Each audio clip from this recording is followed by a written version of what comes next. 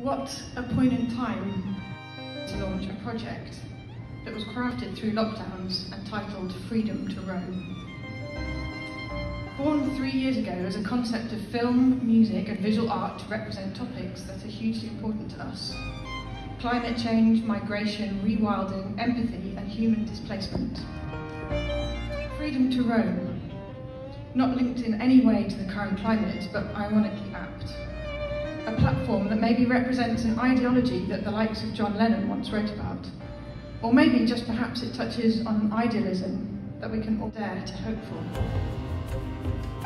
As we often turn on the news to hear of so many horrific stories and tragic updates, it strikes me that we need to reverse this idea of only a negative bombardment being normal. For our mental health, our daily well-being, and to help harness the energy and adrenaline that can be found through positive outlooks and actions. Imagine this.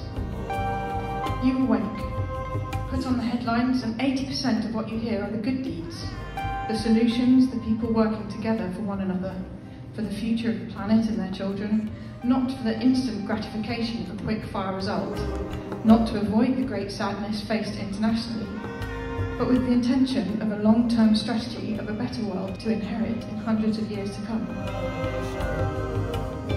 To plant a tree that will be at its prime not in our lifetime, but in 200 years and beyond. This project has allowed us to look for compassion, for hope and for potential. Our evening will open with a new documentary, Connected, by multi-award-winning director Nicholas Jones. Whilst restricted by COVID, we found some incredible stories of people highlighting our connection with nature, our access to it, and what possibilities lie ahead for future generations.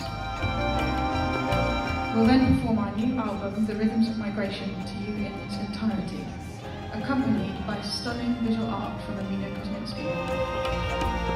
I wrote this speech whilst I listened to a reading from Small Things like these by Claire Keegan.